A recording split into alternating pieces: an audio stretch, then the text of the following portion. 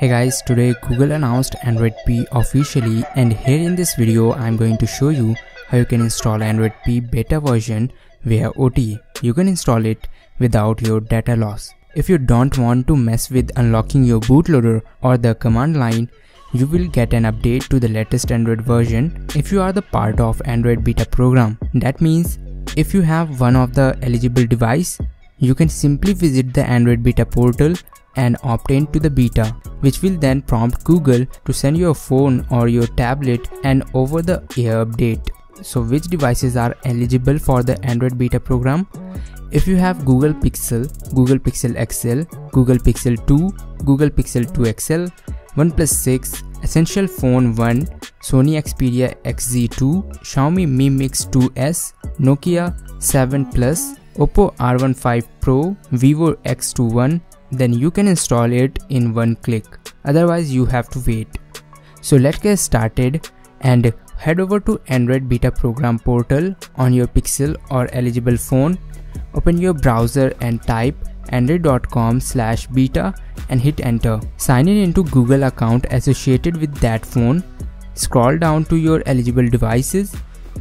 Find the device you want to enroll in the beta program and tap on opt-in.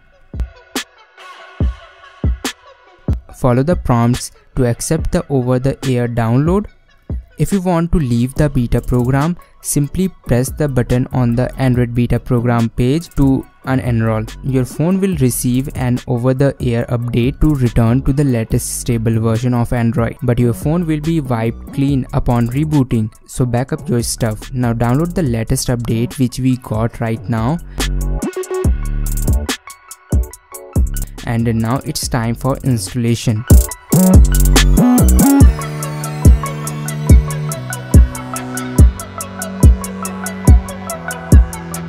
It will take around 10 to 15 minutes.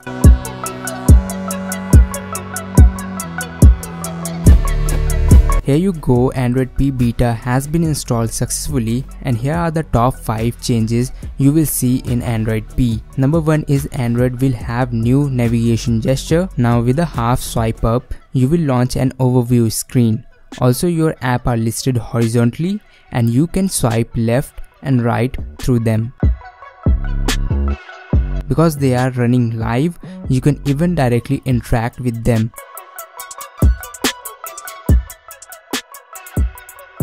Number second is a new dashboard makes you more aware of how you use your device. It shows you how much time you spend on your phone and allow you to set time limits to certain apps. Third one is do not disturb gets an update. Now you will see no visual notifications allowing you to better disconnect you from your phone.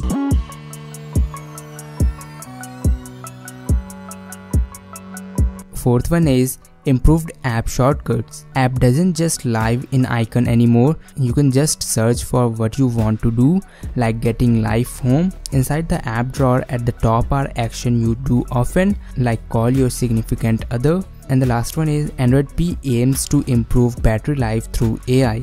Using machine learning, Android P can predict which app you would launch next and automatically shut down apps you are not using. So that's it for now guys. Thank you so much for watching and I will see you in the next one.